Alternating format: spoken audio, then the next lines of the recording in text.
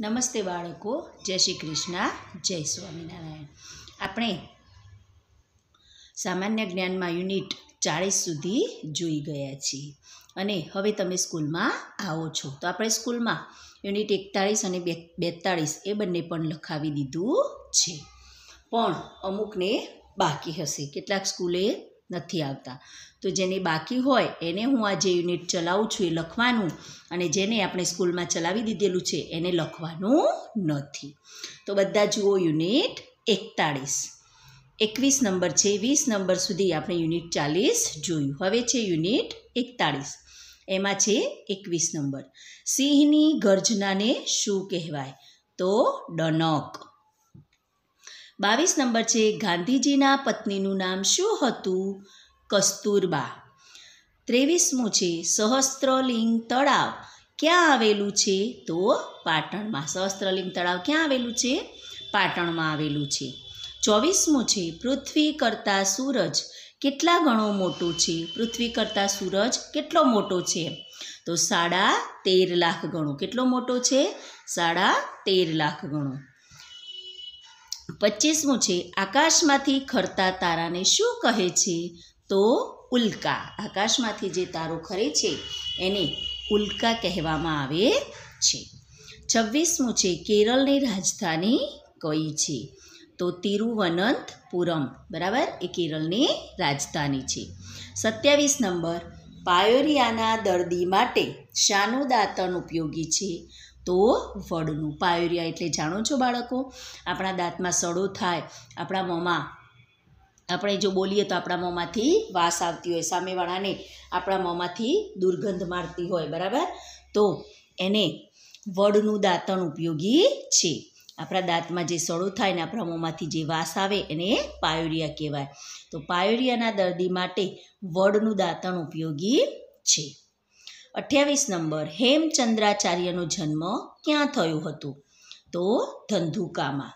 ઓગણત્રીસ નંબર, ઉનાળામાં ફૂંકાતા પવનને શું કહે છે? વંટોળ. આપણે ઉનાળામાં જે પવન ફૂંકાય છે, બરાબર? અને એમાંથી આપણને લૂ લાગે છે એ, તો એવા પવનને શું કહે છે? વંટોળ કહેવાય.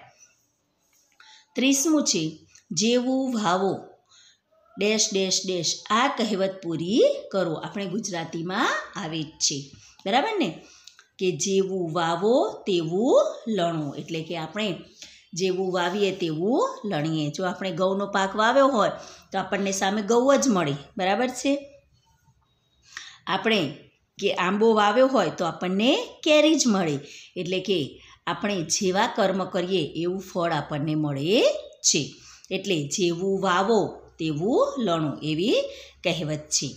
અહીંયા આપણું યુનિટ એકતાળીસ પૂરું થાય છે. હવે આપણે જોઈએ યુનિટ બેતાળીસ. યુનિટ બેતાળીસમાં એકત્રીસ નંબર, બરાબર? યુનિટ બેતાળીસ, એમાં એકત્રીસ નંબર આવશે. શિવાજીની જાણીતી તલવારનું નામ શું હતું? તો ભવાની. શું નામ હતું? ભવાની. બત્રીસ નંબર, અર્જુનના ગુરુ કોણ હતા? દ્રોણાચાર્ય. તમે બધાએ મહાભારત તો જોયું જશે તો કૌરવ અને પાંડવો, પાંડવોમાં અર્જુન. તો અર્જુનના ગુરુ હતા દ્રોણાચાર્ય. કૌરવ અને પાંડવો બધાના ગુરુ કોણ હતા? દ્રોણાચાર્ય. તેત્રીસ નંબર છે, ધૃતરાષ્ટ્રના સૌથી મોટા પુત્રનું નામ શું હતું? તો દુર્યોધન, જે કૌરવો હતા ધૃતરાષ્ટ્રના. બરાબર? એમાં સૌથી મોટા પુત્રનું નામ હતું દુર્યોધન. ચોત્રીસ નંબર છે. રંજીતરામ સુવર્ણચંદ્રક કઈ સંસ્થા એનાયત કરીએ છે તો ગુજરાત સાહિત્ય સભા. પાંત્રીસ નંબર, ક્ષયનો રોગ થતો અટકાવવા. કઈ રસી અપાય છે? તો બીસીજી ક્ષય એટલે કે ટીબી આપણે સામાન્ય ભાષામાં કહીએ તો એને ટીબી કહેવાય.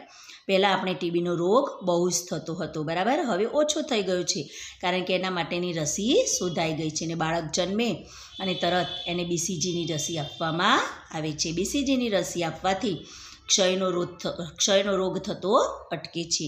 અને હવે પછી ક્ષયનો રોગ આપણને થતો નથી, કારણ કે એની રસી શોધાઈ ગઈ છે.